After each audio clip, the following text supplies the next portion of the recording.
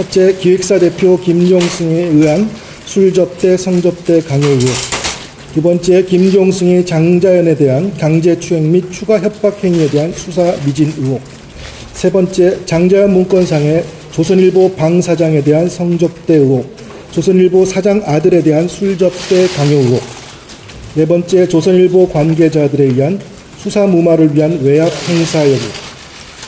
다섯 번째, 부실한 압수수색 및 중요 증거 자료의 의도적인 기록 편찬 누락 의혹.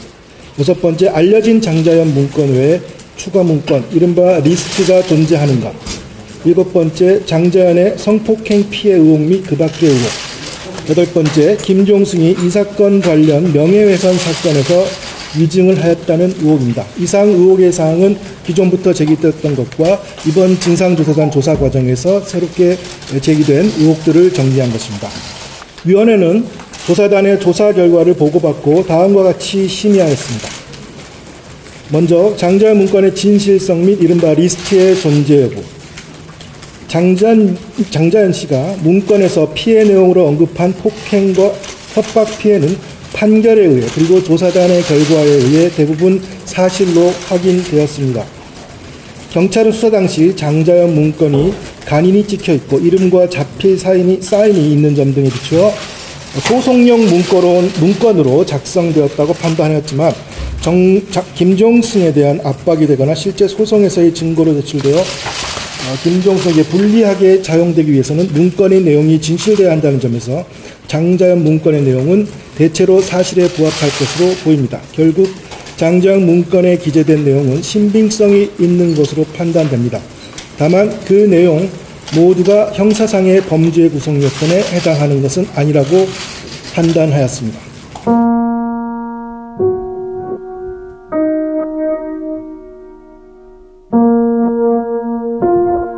이와 관련하여 장자연 문건에 피해 사례를 서술형으로 기재한 알려진 문건에 이른바 사람들의 이름이 기재된 명단이 즉 리스트가 있다는 의혹과 관련하여 어, 조사단이 조사를 진행하였습니다.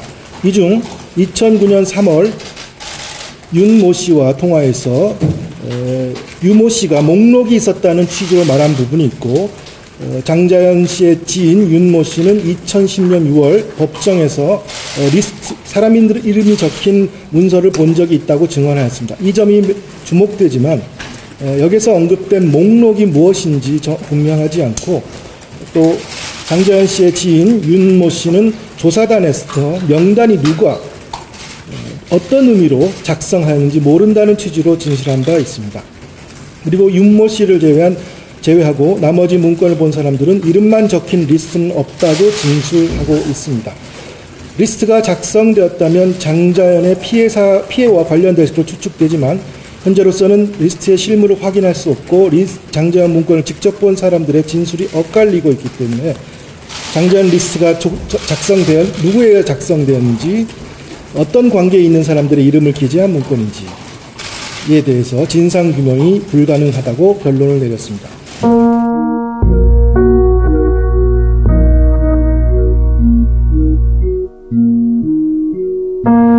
김종승의 강압적인 술접대 지시와 강요를 강요가 사실을 광요 사실을 확인하였습니다. 김종승이 기획사 대표라는 우월적 지위를 이용하여 소속 연기자를 개인적인 술접대 이용하거나 때로는 강압적으로 술접대를 강요한 사실이 인정됩니다. 수사검사는 김종승이 장자연의 공포심을 위한 술자리 참석을 강요했는지 그 시기가 언제부터인지 등에 대해 면밀한 수사를 하지 않고 막연히 장자연 문건 내용이 모호하고 윤모 씨가 직접적인 폭행 협박을 당하지 않았다라는 것을 이유로 어, 불기소 처분하였습니다. 이는 수사 미진에 해당하고 어, 수사검사가 강요 부분을 전체적으로 보아 혐의가 없다고 보고 모두 불가, 불기소 처분한 것은 부당하다고 판단했습니다.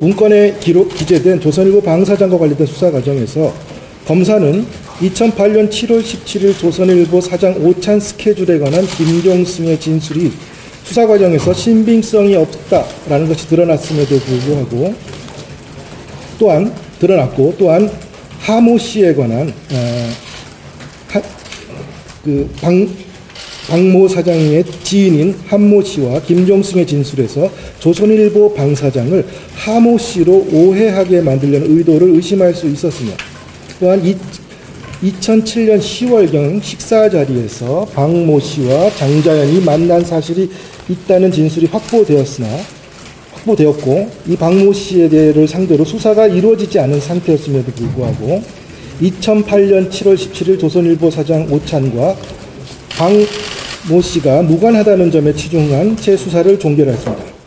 그 이상 장자연 문건, 속, 문건 속에 방 사장이 누구인지 장자연이 호소한 피해 사실이 있는지를 확인하기 위해 수사를 전혀 진행하지 않은 것은 수사 미진에 해당한다고 판단됩니다.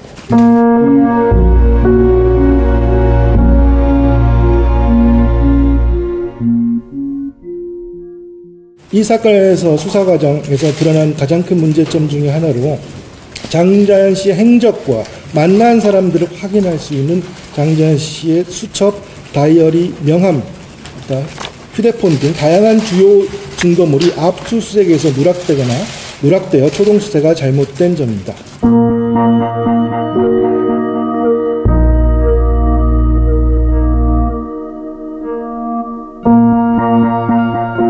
조선일보 관계자들의 수사 무화, 무마 외압 행사 여부 이와 관련해서 당시 조선일보 사회부장이 경찰청장과 경기청장을 찾아가 박모 사장을 조사하지 말라, 말라고 압력을 행사했고 특히 경기청장 조 모에게는 단체의 위력을 보고 협박한 사실을 확인하였습니다.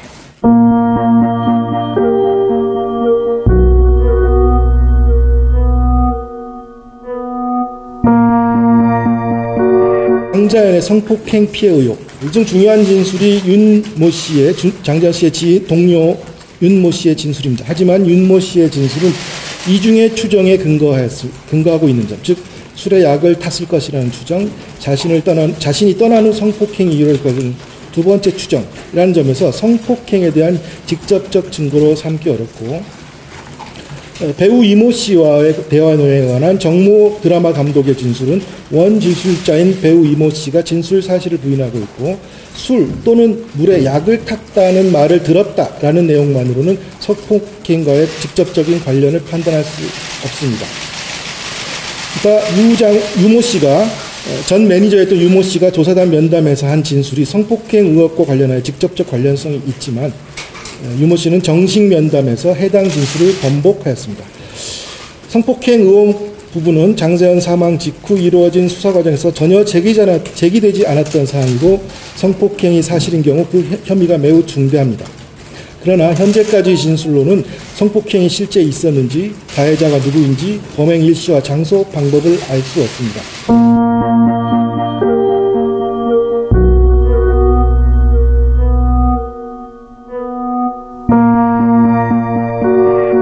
김종승이 이 사건 관련 명예훼손 사건에서 증인으로 법, 증인으로서 법정에 출석하여 자신의 기억에 반하는 허위의 진술을 하여 위증하였다는 점은 기록과 관련자의 진술에 의해서 충분히 인정됩니다.